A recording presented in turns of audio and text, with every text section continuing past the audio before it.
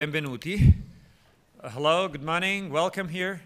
Uh, non c'è uh, traduzione simultanea, there will be no uh, translation here. So the, basically the workshop will be uh, in English, uh, non c'è traduzione, quindi fondamentalmente il workshop sarà tenuto in inglese. io tuttavia sono presente e quindi posso aiutare eh, nel facilitare in certi momenti, specialmente nell'interazione, eh, nel momento in cui qualcuno del pubblico voglia prendere la parola in italiano, io potrò tradurre in inglese. So, but I, will be here anyway, so I can help with uh, uh, facilitating communication from Italian to English for the interactive part of the uh, workshop. Uh, and welcome. This is the second uh, the second workshop organized by the Online News Association, uh, the uh, organization that partners with the festival since 2009. Questo è il, è il secondo workshop di una serie organizzata dall'Online News Association che è partner del festival dal, 2000, dal 2009. Il, il, workshop in questione, eh, spero lo sappiate ma lo ripetiamo, riguarda, eh, parleremo degli eh, strumenti, i modi e gli atteggiamenti necessari per usare i social media come strumento di verifica delle informazioni da parte del cronista. The workshop will be about uh, tools and actually the uh, right approach to uh, use social media as uh, verification tools in your uh, reporting.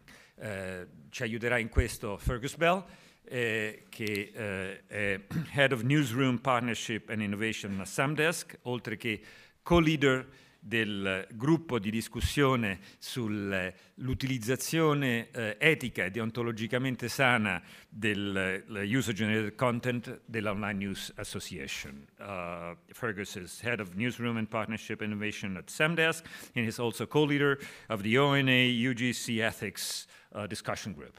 And uh, uh, so, uh, welcome everybody, and hopefully will be a nice hour. Fergus. Hi everyone. Uh, to, because this is a workshop, I'm going to make it uh, quite interactive. So hopefully there's a microphone that we that can go around the room. I'm going to ask some questions, and I really like your input or thoughts as I as I come to those parts. May, may I add to this that uh, if if and when you uh, want to say something, please wait until uh, uh, uh, our friend here will lend you the mic because we, uh, the, we are streaming live this session. So, of course, if you don't speak into a mic, people won't hear you. Quindi per piacere aspettate per parlare il microfono perché siamo live con lo stream. Grazie. So I'm going to talk about social media verification, and everything that I talk about here is uh, completely scalable to, to any newsroom. So whether you're a big fish in a small pond or a small fish in a big pond, um, it's completely relevant to you and you can tailor it in the way that suits you. It's a lot about setting up your processes and your approach to it beforehand, um, uh, as well as kind of understanding the tools that you need before you need them.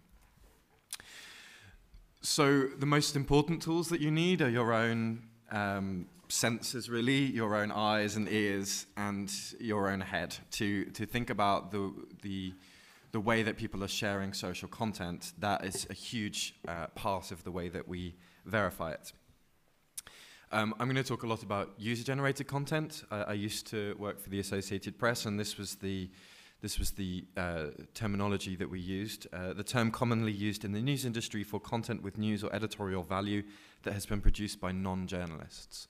So there's often a confusion when we're talking about social media or social content for reporting that uh, this, the content that comes from accidental journalists or uh, citizen journalists that can be confused with the other stuff that is shared online.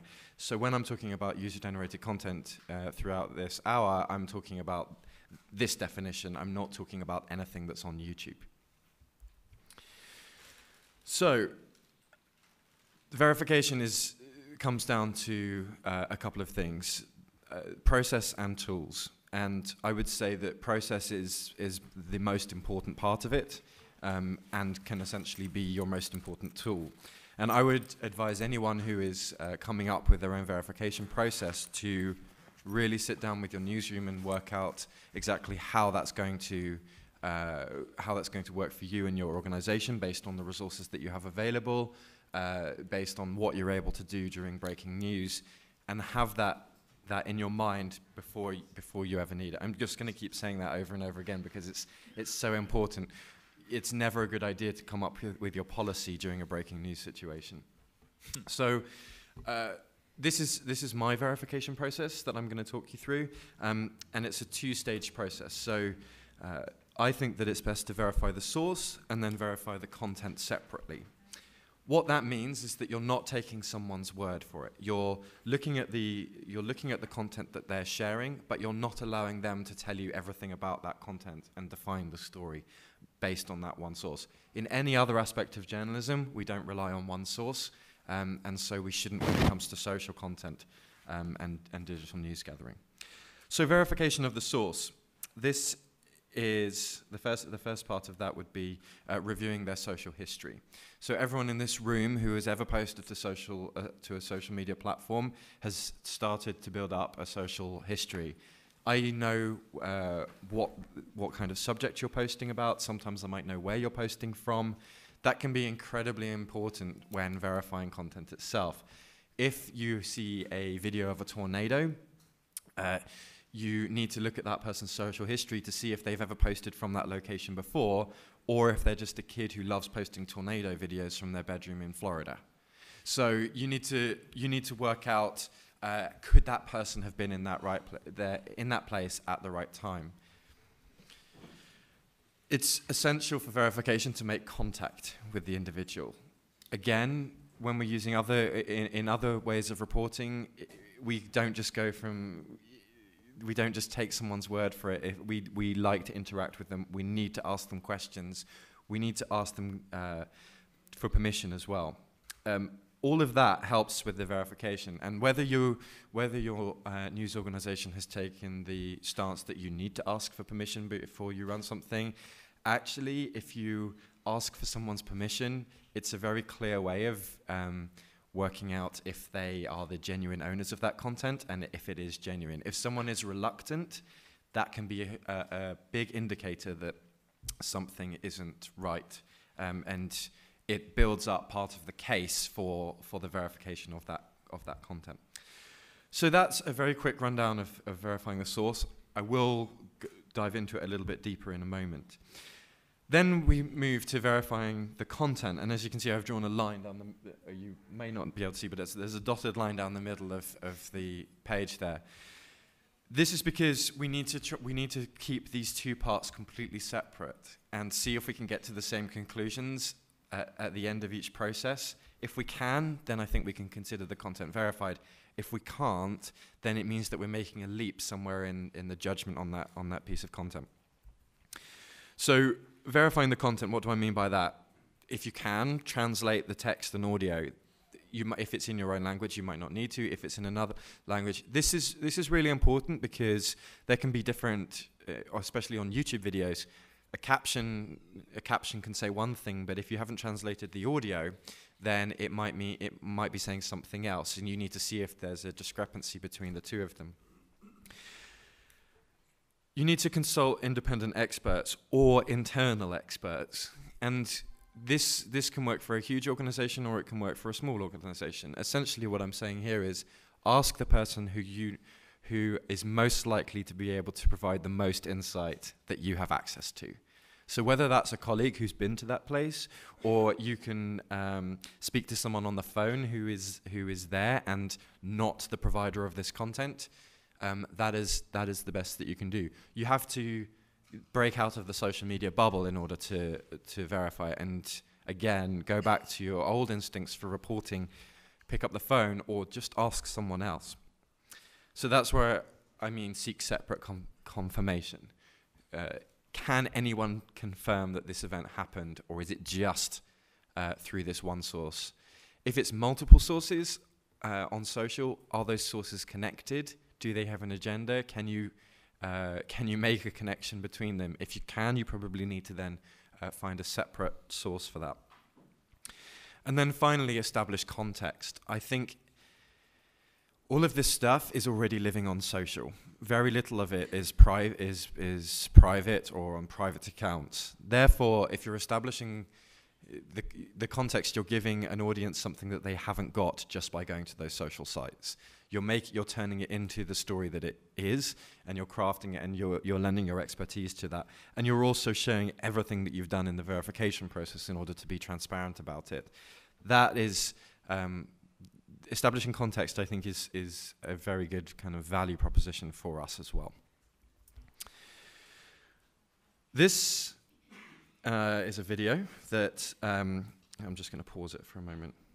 So I've got two examples of how this verification process um, come, can, can be applied and has been applied in real life. So the video I'm about to show you is, is something that was shared by Ukrainian activists who claimed that uh, a helicopter had been shot down uh, in Ukraine. And now I can't remember if it was yes, it was a Ukrainian, it was activists saying that a Ukrainian helicopter had been shot down by uh, rebels. Uh, they shared this, and this is the video. Oh, no, that's not the video. There we go.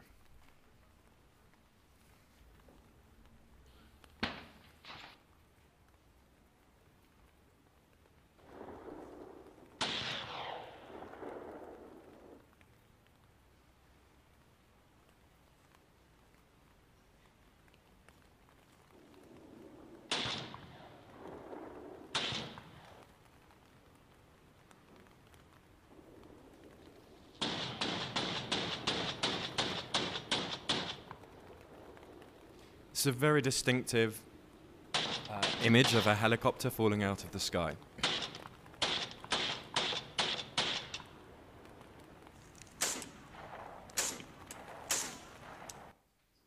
Now, putting this through the verification process, uh, it didn't it didn't pass the verification process because there is nothing there that can indicate where it is.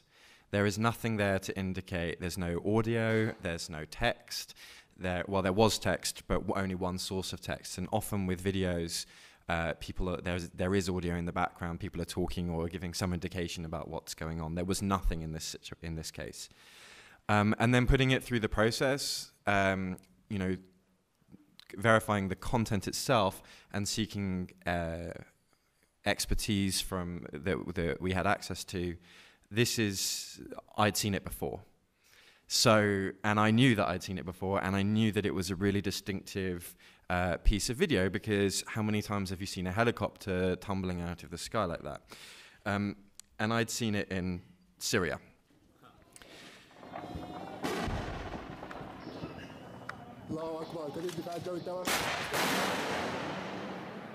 Where you can see, you can hear the audio, which clearly places it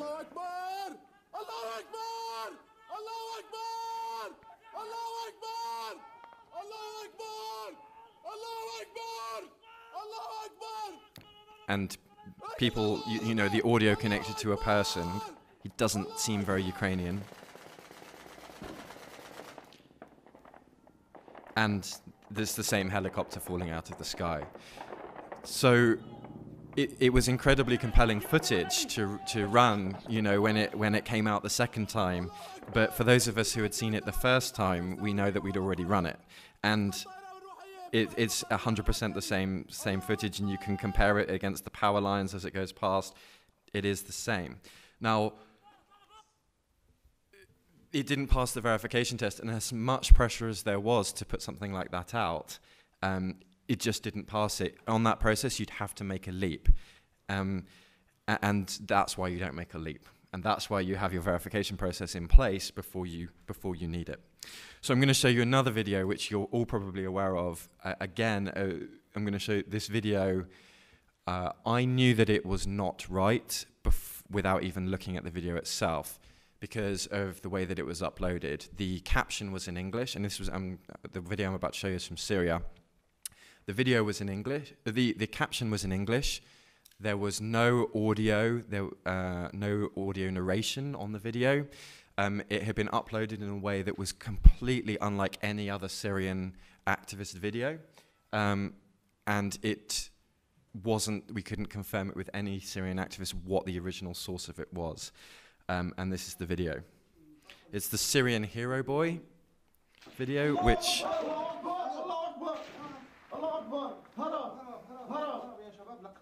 شلون اطلق النار عليه؟ شايفين؟ الكلاب حيوانات والله كلاب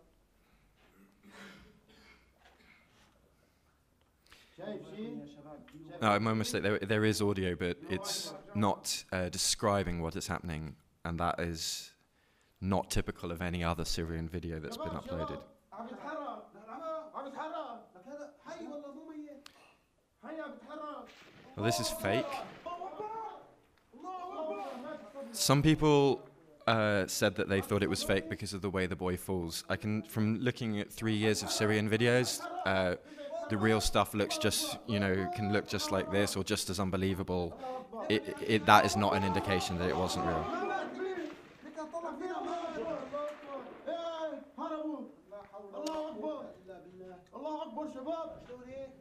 So that was made by uh, Norwegian documentary makers who were looking to try and insert some video into uh, the network in order to, to fool journalists. It didn't fool many journalists who have verification processes that stop that um, would have meant that it didn't pass. But again, it's it's amazingly compelling video, but it's not real, and the damage that we can do by putting this out there is is, is not worth it. So, I have a scenario, and this is where we're going to get a little bit interactive. Um, this scenario is a fictional scenario. Um, there's one uh, illustration in there, which I'd rather you didn't take a photo of and tweet. It's fine for the live stream. It just looks makes me look very insensitive if it's taken out of context. You'll see exactly what I mean when we come to it. Um, so, this is a scenario to look at how we might uh, assess a breaking news situation and how we might go about verifying it and the things that we need to consider. Uh, I am going to throw a few ethical curveballs in there as well. Um, so, the scenario starts like this there's a tweet, um, and I'm sorry that it's based in the US, but um, just, just the one I did. So, uh, multiple gunshots heard at Stanford, uh, update soon. What does that, does anyone have an immediate thought about what that might mean and what what action we might need to take. I'm going to ask for uh, answers to be kind of quite brief because we've got a, this is quite a, a detailed scenario. Someone does have an immediate thought. Be brave.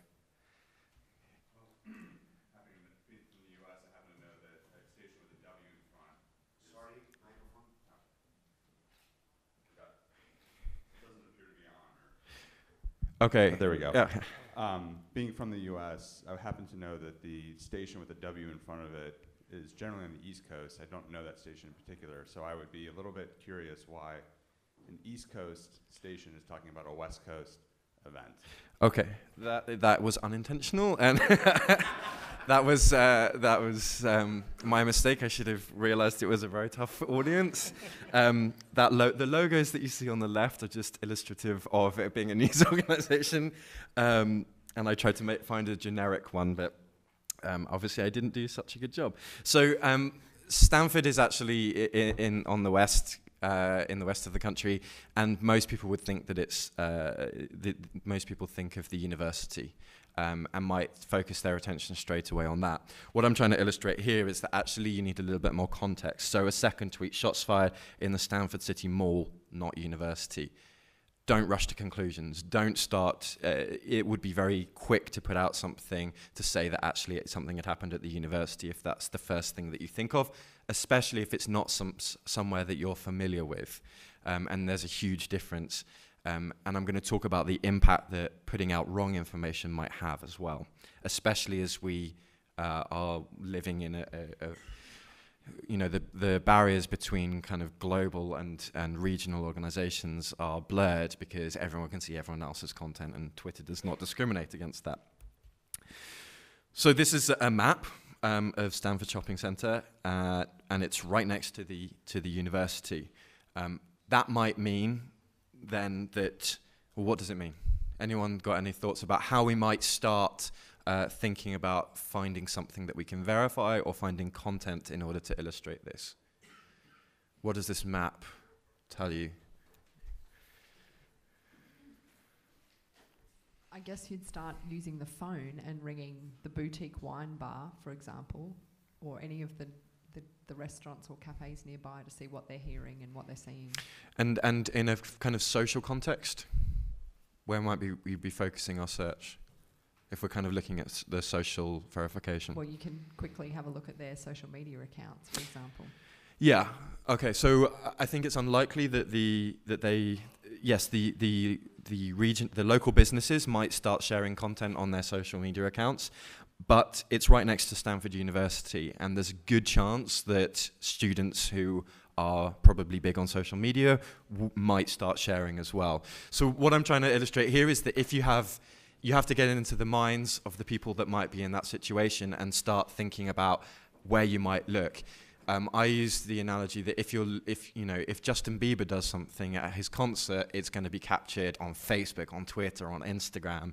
Whereas if Engelbert Humperdinck does something at his conference, it's unlikely because of the people that are in that audience. They're not, they're less likely to be sharing on social. So instantly I would look at the proximity to the university, realize that it's a shopping center where a lot of young people might be, and therefore I would look at, I think it would be worth spending time looking on social. So there's a tweet, um, and it's a retweet. Jenny Piccolo, oh my god, someone is shooting in the mall. Where is Joni? Help. So from this, we can, and this has been retweeted by um, ABC 10 Eyewitness News a generic station in the West. Um, what does anyone have any thoughts about what we might do with this information? You're journalists working in newsrooms. You, yeah. Wait, wait, wait. You'd want to contact Jenny Piccolo pretty quickly or work out who Jenny Piccolo is. I'm quite surprised they would have retweeted it already, but um, that's what you'd want to do, I guess. Yeah, so we want to know who Jenny Piccolo is, um, and the way to do that is to actually um, look for, well, not look for the retweet, but look at her original page. So this is a second uh, retweet. Jenny Piccolo, we're hiding in Burberry dressing room. Joni C, are you still in the bathroom? Matt, any thoughts on that? Uh, so we're looking now. We found out who Joni is. So we know there's an account uh, for Joni, so we can, hmm from what you were saying, look at both accounts and find out a bit more about both of those people. Yeah. Sounds like they're both live in the situation. So Yep. if you're a broadcaster, you've got to think about safety of the individuals here as well and things like that. Yep. Does anyone else have any thoughts about what we can do with this? And remember, we're trying to f- to verify the information and find content.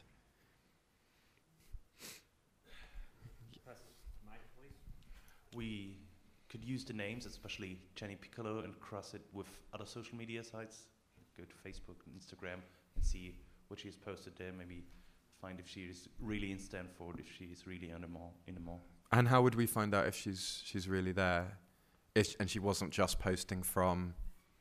From earlier posts. Yeah, Maybe, okay. Maybe she posted about being in the mall, Okay. to the mall Yep. beforehand. Yep.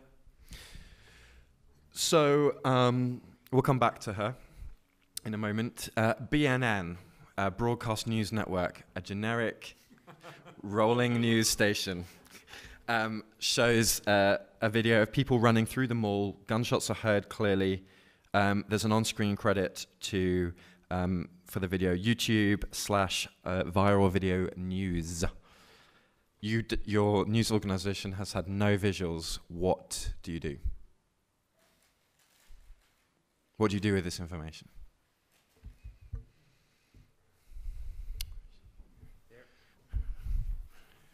I told you it would be interactive. Uh, well, you could definitely look into viral video news and see what they've posted in the past. Um, you could try comparing the visuals of the mall to, poss- you know, if you can find other like photos or video of inside the same mall. Though I imagine that could be difficult to verify it's the right mall because they all kind of look the same, right? So the, the, the point that I'm trying to to raise here is if you see some, something that's called viral video news, it's unlikely that they would be the kind of people that would be that would be capturing stuff live. It's more likely that they are resharing stuff. Um, so look at so and no one said we'll just take the video, which is good um, because this does give some information about how to start tracking it back, but nothing that we could use. So. Um, Agency news alerts confirm that Stanford Mall is on lockdown because of a reported shooter on site. They're reporting multiple people injured. Outside, your f- reporters or photographers or video journalists are arriving at the mall. They're restricted at the police perimeter. We're, you're not going to get any visuals yourself. Your old school traditional reporting uh, on the ground is frozen. There's nothing you can get. You have no visuals. So this is the picture. Please don't uh, tweet out of context. So this is a, a photograph um, showing uh, by Jenny Piccolo because you've been monitoring her as an original source. Um, and it's showing a gunman, um, and there are two uh, bodies on the floor. This is the first visual from inside the mall. What do you do with it? How can you use it?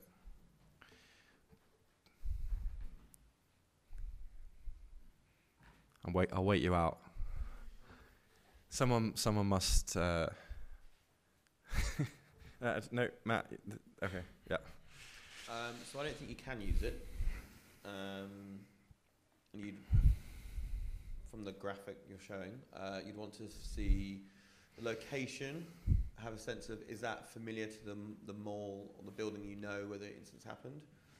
Um, but yeah, certainly in newsrooms I've worked in, we wouldn't use anything like that. Yeah, so we can use this for contextual uh, work. We can we can look to see if it might actually be the interior of the mall, but it's uh, very unlikely that we could use something like this at this time. One, it might put the person who's taken the photo um, in extreme danger because they've clearly been got up close to the person who is committing crime, um, and sharing that photo might indicate to the person who's committing the crime that there are people in there who can see him. And that, that is uh, something that we need to think about more and more.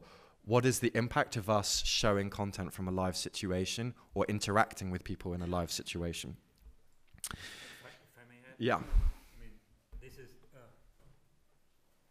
Uh, uh, so, we, we are straddling two fields. One is verif- verification, the other one are ethical choices, right? Yes. Yes.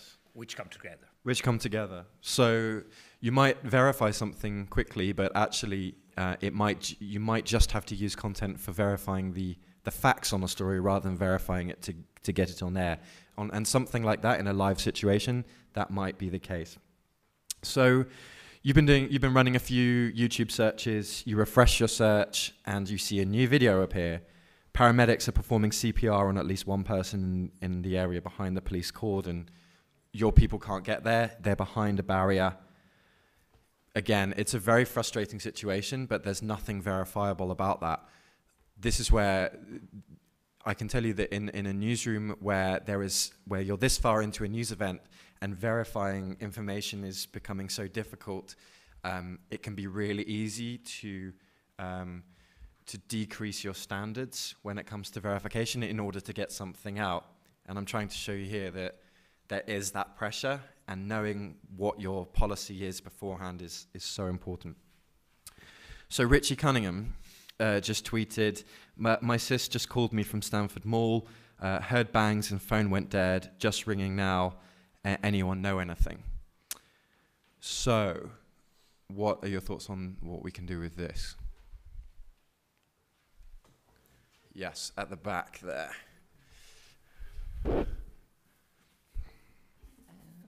I think this is a fake. It's not fake. It's not fake. The the names are. Uh, it's not fake. It's not a fake scenario. Um, so w- with this, we we can't do anything in a live situation necessarily, but uh, we right now have a, a potential family member that we be, can uh, verify at the time. This person is connected to the story at the time that it's happening, um, and if anything was to happen to this woman, um, it's likely that we now know who her brother is, and we can probably do a follow up. So knowing this at the time before uh, before Twitter gets flooded with with names or um, other details, and it, it's useful to bank this information because um, because you'll need it later, and finding it later in the noise is incredibly difficult. They've also used a hashtag. So, uh, BNN, the uh, completely fictional rolling news uh, station, um, is running the paramedic video. You still haven't heard anything back from the poster. What do you do? Is there any video? Can you run the video? No, you're shaking. I, I led that question. There. Um, so you you actually get a response from the person that you that you messaged. Hi, the video isn't mine. I uploaded it from my friend Chachi. He said you can call him, and this is his number. This is a, this is kind of what is what is why it is worth waiting and putting it through the proper verification process. Everyone else is running a video from an un, from a, a source that's not original. Um, this guy uploaded it for a friend. We've got a phone number. We can talk to the person that is there and uploaded the video. We can get permission. That waiting time has allowed us to verify it properly and get something that no one else will have. And that's why it's worth um, putting it through a proper verification process. So you've got permission from uh, Chachi Gonzalez, uh, and you're good to go. You're now running content from the from the scene. Reporters on the ground are reporting that four bodies are being re- are being removed from the mall, and SWAT teams are entering. There's a tweet. It's from uh, Newsy Ralph, and he says that a second shooter is spotted in Stanford Mall. It's been re- retweeted 45 times, um, including by NPR's person on the ground. What would you do? What can you do with this information? How might we verify it? Okay, we might verify it by um, actually speaking to the police or uh, finding it out. Someone who's called Newsy Ralph. I tend to be wary of anyone using a Z, by the way, in a, in a username. Um, Newsy Ralph might not be someone who, who is completely trustworthy, uh, and indeed, uh, agency alerts confirm that police confirm only one active shooter in the mall, shooter holding ground at Macy's perfume counter. So you get an inside tip. San Francisco Stringer gets a preliminary name from the law enforcement sources before anyone else. Um, the name is Arthur Fonzarelli. You've got a name. How might we how might we use this name? And I'm not going to accept no answer from the room. So, someone, how might we use this name? At the back.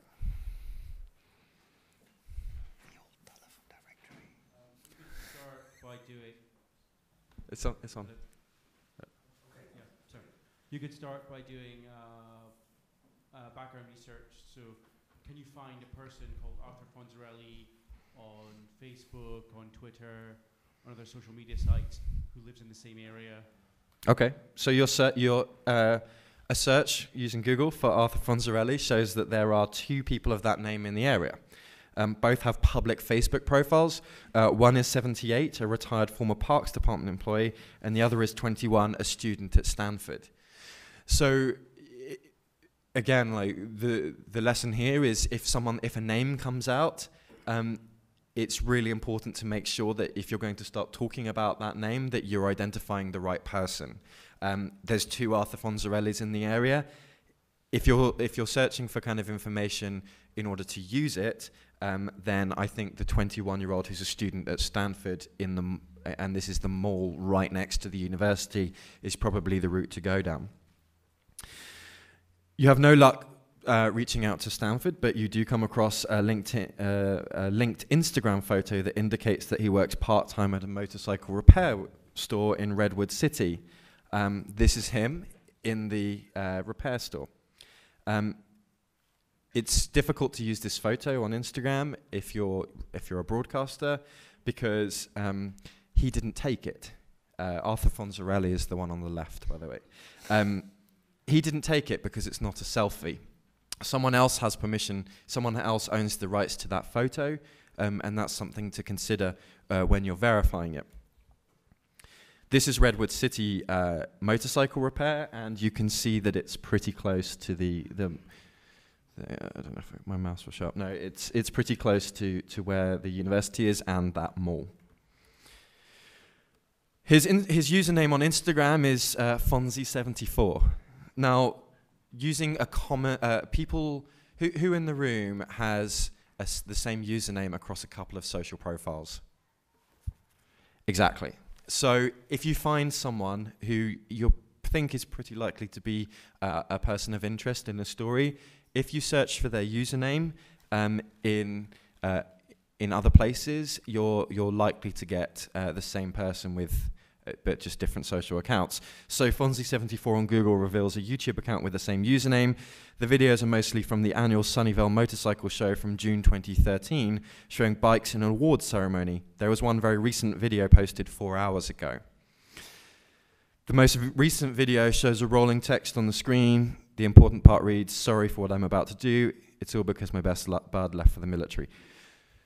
So you're now pretty sure because you've done that background checking and that verification that that Fonzarelli is your shooter and you need images. Um, so this you have so much information to go on now, and I'm just going to go back to to this. So and this this was this was a, a scenario. This is a fictional scenario, but it's based on kind of real life uh, events that have happened. I don't know if you remember the Gabrielle Giffords shooting in um, in Arizona, but um, the first images that were actually uh, came out of the of the of the shooter, Jared Loughner, were because there were links on his uh, video uh, to uh, he was talking a lot about literature and books, and actually by cross-referencing that, we were able to connect his name to a book fair, and there was a photo of him at a book fair, um, and that was the first photo um, used to to show his face in that situation. Now. Again, all of this can be quite time consuming, but if you're verifying it properly and you're not making any leaps, you're going to be at the point where you can uh, confidently publish something before your competitors who might not be doing this. Um, and that's why it's important to be really vigilant with the verification uh, because you don't want to be wrong if you're going to be a little bit later coming to the story, but with something fresh and new. And then just to, um, the, the final development in this is that suddenly Richie Cunningham wakes up um, shouting for Mr. and Mrs. Cunningham. It's just all been a, a horrible dream. So um, that's the that's that's the scenario. I, that's it is based on on potentially or a collection of, of things that have happened to me when I've been verifying stories. This that that stuff does happen, um, and you can if you if your processes are right for the newsroom, then you will get get more out of it, and you'll do it in a sensitive way as well. So this yes. Quick question: the um, uh, the video or the the photo um, that you mentioned before. Yep.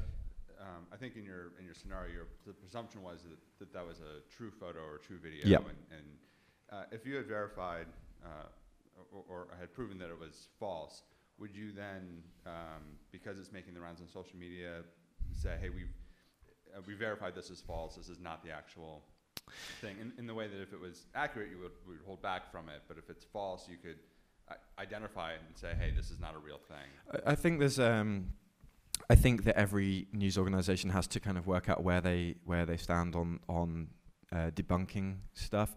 It can be really if you debunk something and put an if you, if you've been using your searches to find fake co- uh, and and fake content has come out, actually sometimes your searches are more advanced than everyone else's and they may not have seen that photo. And sometimes by actually putting it out there and debunking it, it will end up with all of the debunking information stripped off it and and help circulate it anyway. That can be one argument. Another argument can be can be putting it out there for debunking. Some people debunk really well. Um, some people prefer not to for that for that reason.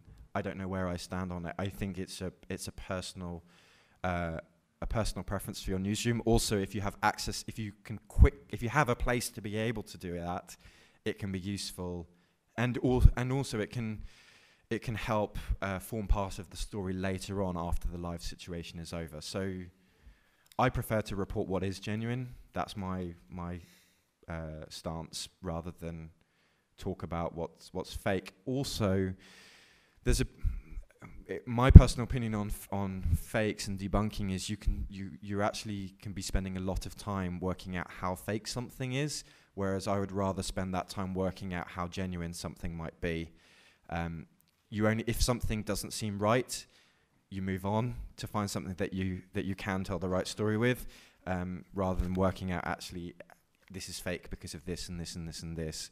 I just need to know it's fake because of this, and then I'll move on. So um, tools. Search and monitoring is is the the kind of most important tools and setup that uh, that you need when it comes to to doing all of this. Um, and like I said, setting up your kind of standards in advance, setting up your tools in advance are important. So, learning how to use uh, Twitter, the native searches, lists, um, that is important for, monitor for being able to monitor breaking news. Also, uh, monitoring people who might be debunking.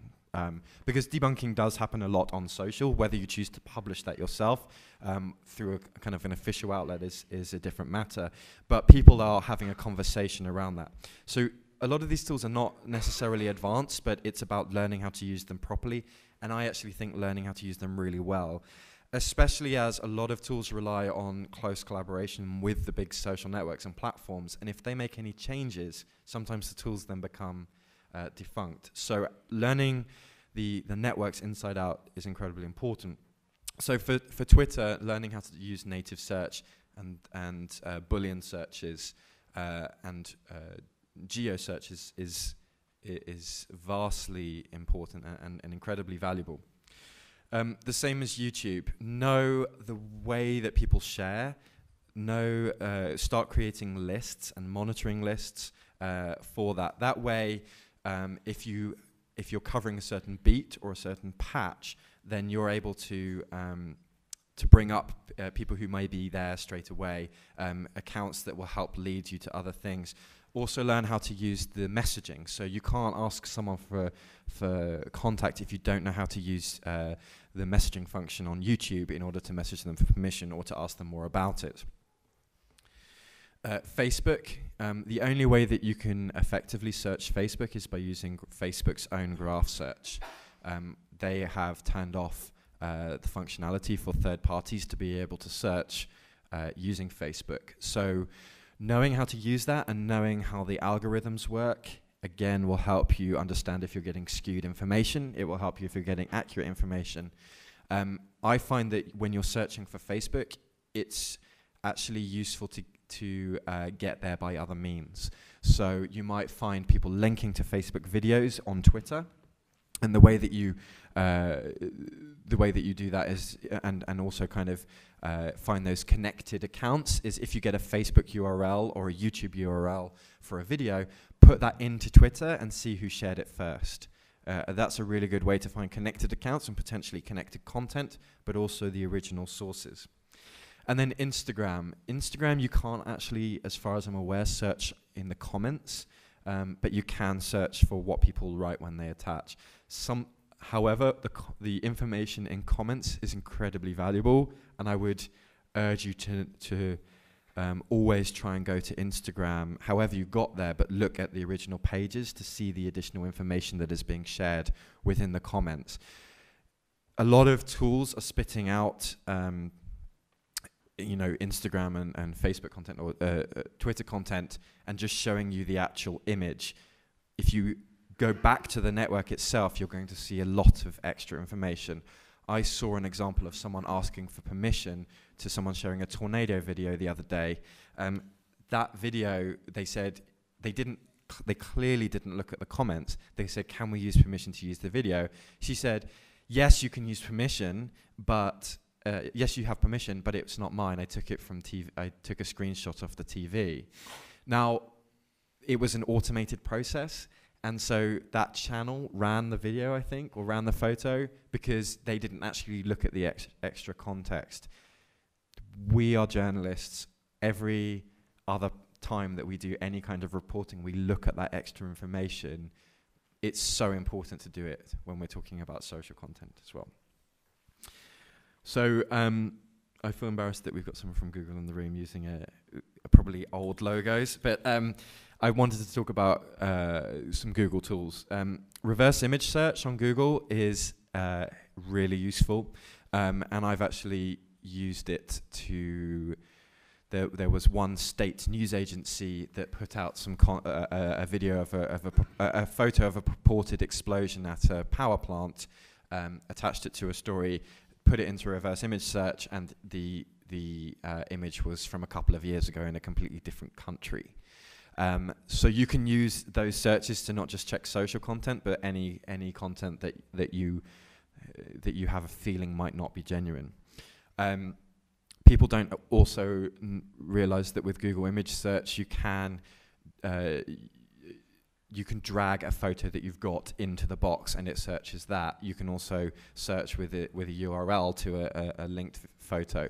It also shows you um, not just if that video, if that photo has existed before, but if you are trying to find a location and you've got a, a photo that clearly shows a building, it's sometimes worth putting it into Google image search because if you're trying to work out where that is, it will show similar photos showing the same showing the same monuments, and that can help you work out exactly where you're where you're seeing it. Um, so Google Translate is uh, very useful as well. I use it a lot, but it's not always accurate. So if you have a someone that can do it, do a translation for you, um, then then ask them because it's better. Google Translate is also not so good when it comes to place names because place names uh, can't always be directly translated or have different uh, names in different languages. Um, the only thing I use Wikipedia for when it comes to verification is actually for place names. So if you put in the uh, a place name that you're searching for into Wikipedia, the very the, it will come up with the the place that you search for, and then in brackets next to it, it will come up with the uh, place name in the native language. And if you copy and paste that, that is the usually the actual place name rather than a direct translation. And that will really help you when you're searching. Because don't forget, when you're searching for content that you need that you're verifying, people who are in in their own country speaking their own languages and use their own slang, therefore you need to be searching using that that those words as well. Um, Google Maps and uh, location information is useful. Uh, using satellite views to look at terrain is also uh, useful. Um, I've been working on video from, from Syria where I've been able to pinpoint the exact location that someone's been stood on a rooftop filming. They were streaming that live, and that helped me not use it because I knew that if I could pinpoint where what rooftop they were on, um, it means that people who are aiming guns at them could as well. Um, Uh, Google Chrome is is my preferred browser because of all the uh, plugins that you can use. So you can use screen capture plugins. Um, you can use the company that I work for has has a plugin that allows you to just um, drag stuff into it directly from TweetDeck.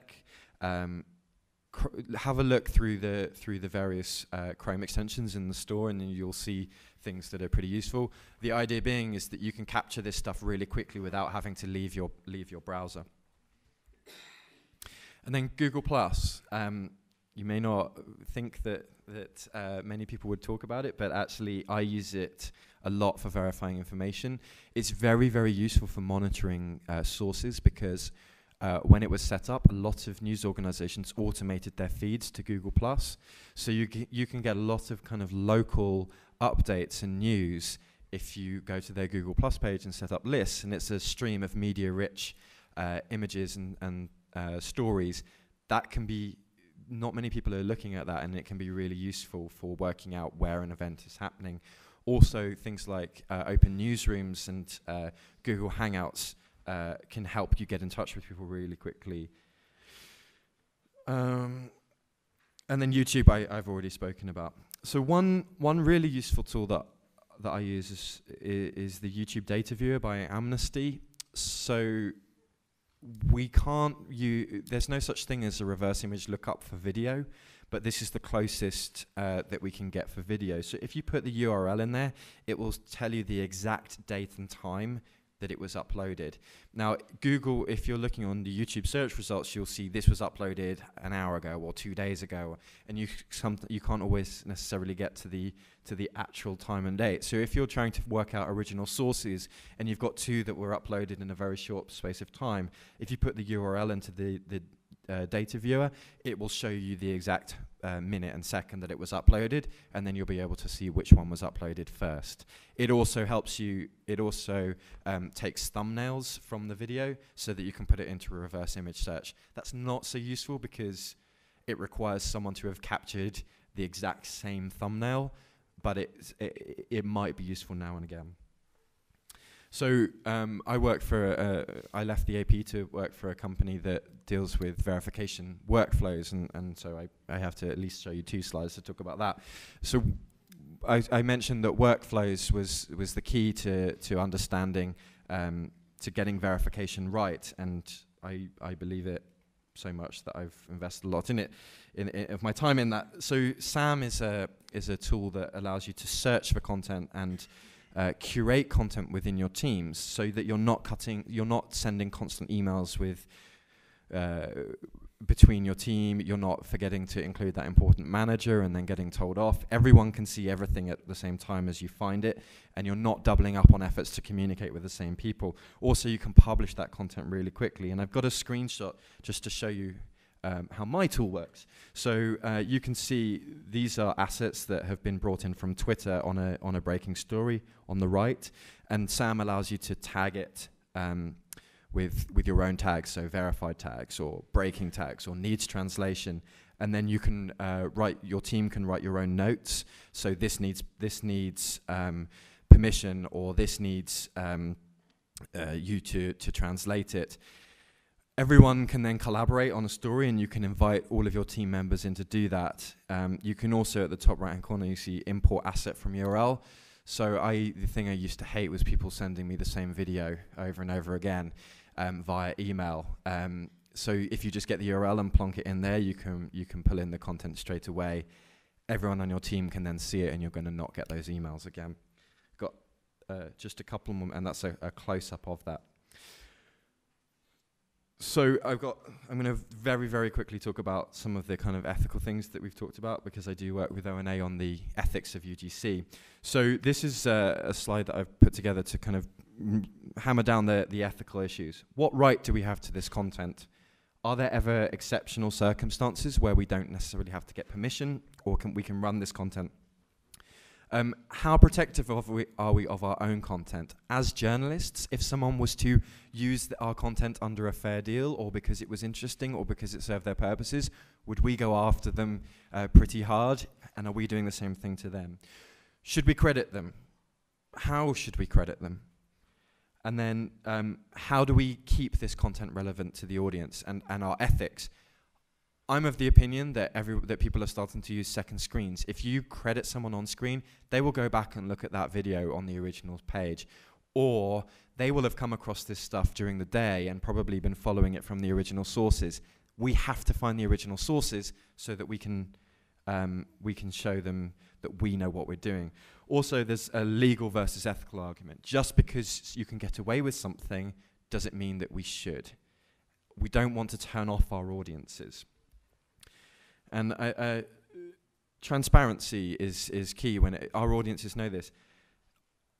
I, I want to get rid of this from ever appearing on broadcasters or publishers. This video could not be independently verified. After me talking to you for 54 minutes, I don't think that this statement is true ownership. So uh, again, people are owning. People are in the right place at the right time, capturing incredible content that we can't get just because we're not there. It's not our fault that we weren't there, but they were there and they have something that's valuable. I think that we have to respect that in order to not turn audiences off. Permissions. I talked about. Uh, um, we're going to see a big trend towards automated permissions. I'm a bit nervous about that because I think it, it doesn't potentially go through this verification process because of the original source aspect.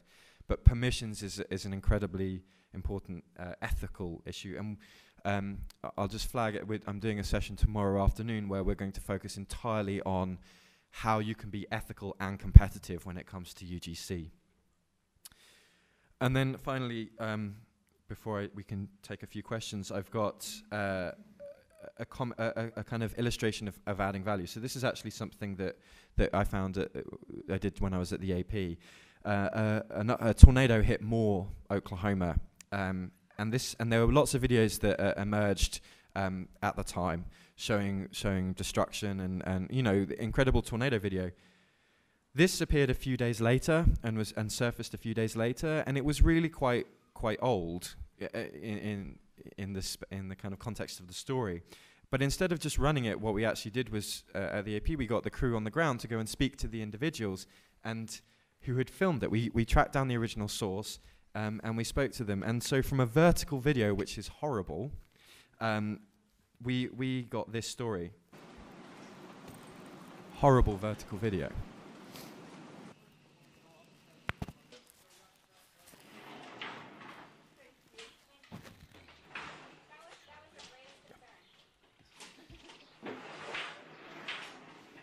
We weren't really expecting it to come our way, but eventually we saw the debris cloud, and uh, we knew we had to get in the shelter. We ran straight here, piled everybody in. I, I was one of the people that were closest to the door, and uh, I managed to get a pretty good angle through this hole right here.